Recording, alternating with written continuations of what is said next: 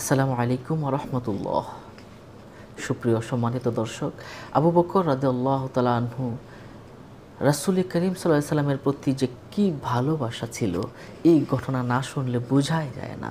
রাসূলুল্লাহ সাল্লাল্লাহু আলাইহি সাল্লাম যেদিন আবু বকরকে গিয়ে ডাক দিলেন হিজরতের জন্য, তখন সাথে সাথেই একটি ডাক দেওয়া মাত্রই আবু বকর রাদিয়াল্লাহু তাআলা আনহু তিনি দরজা খুলে দিলেন আর বললেন, আবু বকর তুমি আমার একটি ডাকি কেমনে তুমি টের পেয়ে গেলে যে আমি আসলাম? ইয়া রাসূলুল্লাহ, আমাকে যখন ছয় মাস আগে আপনি বলেছিলেন যে আমি হিজরতের জন্য বের হয়ে যেতে চাই, সে রাত থেকে আমি কখনো ঘুমাইনি। আল্লাহ আকবার। তখন রসুল্লাহ সাল্লাহ সাল্লাম তাকে ঝরিয়ে ধরলেন, চলো, আজ বুঝে আমাদের হিজরতের ডাকে আমাদের মক্কা ছেড়ে মদিনায় চলে যেতে হবে। জীবন ঘনিষ্ঠ বন্ধু, অন্তরের বন্ধু একদম একসাথেই চলা যে বন্ধু, সেই বন্ধুকে নিয়েই চলে যাচ্ছেন মক্কা ছেড়ে মদিনায়। আমার দয়াল নবীজি বারবার চোখের পানিগুলো ছেড়ে দিয়ে মক্কার দিকে ফিরে ফিরে চায়। যেতে যেতে পিছনে শত্রুরা এসে হানা দেয়। রসুল্লাহ সাল আলাইসাল্লাম বললেন, চলো আমরা ওই গুহায় গিয়ে আশ্রয় নেই।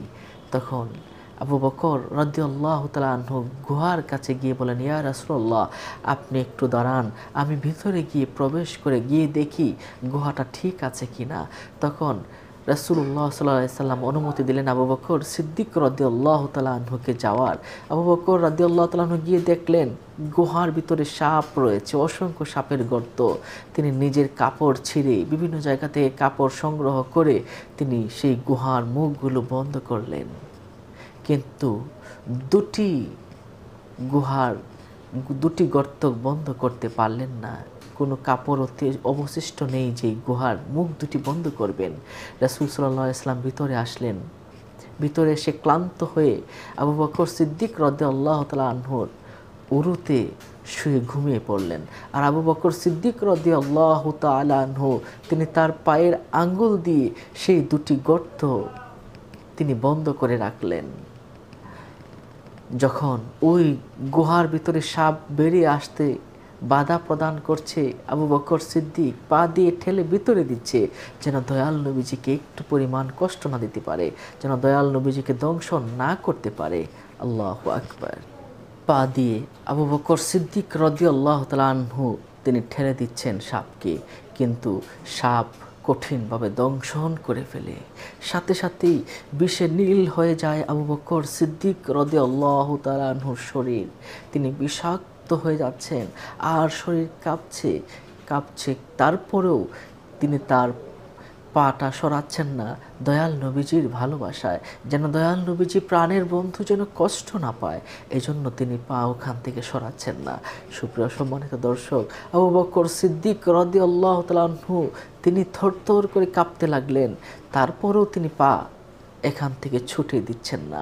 তখন তার এই বিষাক্তর দেহের মাঝে তিনি চোখের পানিগুলো ছেড়ে দিলেন। টপ টপ করে দুফুটা অস্ত্র অজান্তেই রসুল্লাহ সাল্লাহ সাল্লামের গাল মুবারকে পড়ে গেলেন।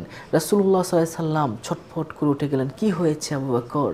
তখন আবু বকর রাদে আল্লাহ তালাম ইয়া রসুল্লাহ আমি এই দুটি পা দিয়ে এই সাপকে আমি আটকে রেখেছিলাম, কিন্তু সে আমার পায়ে দংশন করেছে। তারপরও আমি আপনাকে কামড় দিতে দেয়নি তখন রাসুল্লাহ সাল্লাম বলেন আমাকে কেন তুমি বলনি? রাসুল্লাহ সাল্লাম ব্যতীত হৃদয় আবু বকরকে জড়িয়ে ধরে তার মুখ থেকে এক ফুটা লালা নিয়ে আবু বকর সিদ্দিক রদ্দালতানহুর মুখে লাগিয়ে দিলেন। সাথে সাথেই সেই আবু বকরের বিষাক্ত দেহ সাথে সাথেই ভালো হয়ে গেল। সুবাহানুল্লাহ।